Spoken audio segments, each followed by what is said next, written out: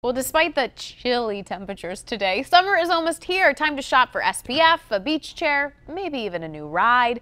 Car dealerships have a lot of options for financing, so which one is right for you? Joining me now to talk about it is Fred Creutzer with Creutzer Financial. Good morning. Good morning. This is a hard one because I feel like whenever it's time to get a car, there are so many questions. So if we want to shop for a new car, is now a good time to go get one? Actually, it is because they're actually already bringing out the 2017 models. Whew, early. I know. I was shocked. But we just bought a car and we just realized the 2017s are coming in.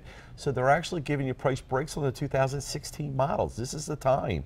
And with Memorial Day weekend, they're going to have a lot of specials. In fact, the specials are actually already going on. They just have an advertisement to Memorial Day weekend. Ah, but the deals sneaky. are there to be made right now. All right, so when it comes to financing, getting loans, there's so many options. There's a lot of options. The average price of a car today, you're looking at $33,000. So if you put $5,000 down, over a five-year period of time, you would have paid $3,400 of interest.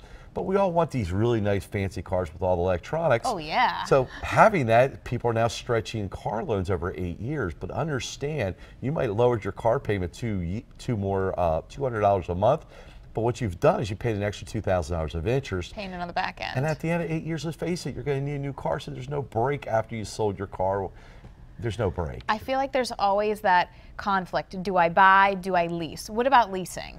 Leasing is uh, definitely an individual situation. If you're somebody who's turning over your car and you like that new car every three years, leasing's the way to go. yeah. But if you want to own a car, have some equity in a car, because really after five years, the equity on a car really starts to drop. Yeah. But leasing's good for that person that's always looking for that new car every three years. But one thing you got to understand, you'll always have a car payment when you lease car payments. Ugh, if only we could just dust them under the rug, right? Not that easy. Got to do our research. Yes, and affordability is really important. And on CreutzerFinancial.com, I do have an affordability nice. to look at what is affordable because it's got to fit within your budget. And when you're talking about interest payments, it all goes back to credit. If you have good credit ratings, you can negotiate and get a better interest on your car loan. So, so real important to keep your credit. credit. Take care of your financials. Yes, absolutely.